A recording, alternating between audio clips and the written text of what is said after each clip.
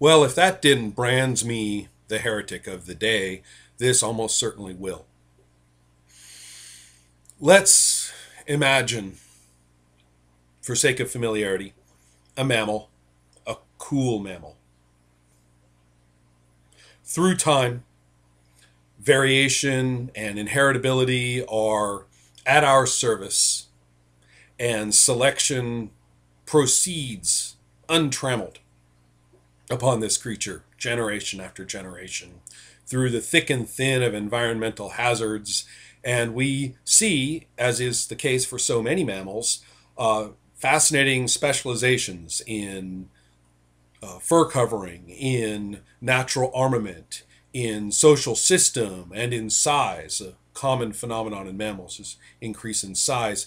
And you end up with a cool creature it's shaggy and colorful. It's got horns and tusks and claws, or maybe some other kind of interesting uh, locomotory features of its limbs. It moves in an interesting way and it groups up and socializes in an interesting way and is cognitive in all kinds of mammalian ways that we empathize with.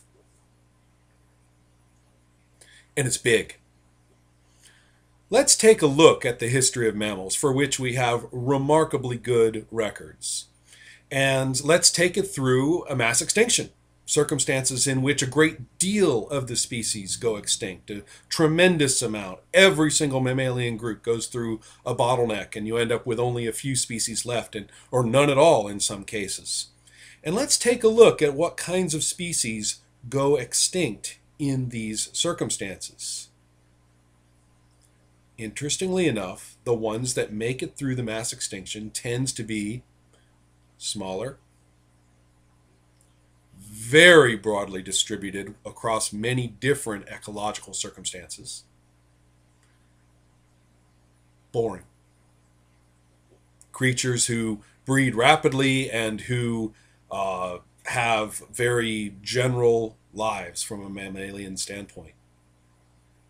The creatures who go extinct are the biggest, most colorful, most closely associated with a given ecological way of life, which is to say, in ordinary terms, the most adapted. See my point? Selection of the most showy and dramatic kinds, the one the sort that captures our attention and makes us celebrate the grandeur of life when we get into that mood is a species assassin. The precise opposite of adapting to survive.